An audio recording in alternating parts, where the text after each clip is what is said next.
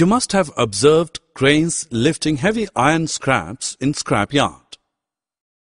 These lifts make use of electromagnets for lifting and transporting large masses of iron scrap, girders, plates, etc. It is also used to separate magnetic material from the junk.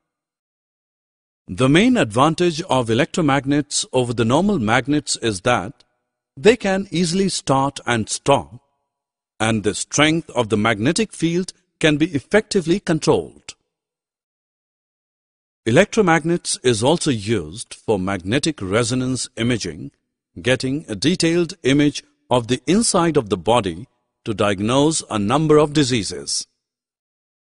A variety of electrical devices such as electric bell, microphone, loudspeaker, etc. make use of electromagnet.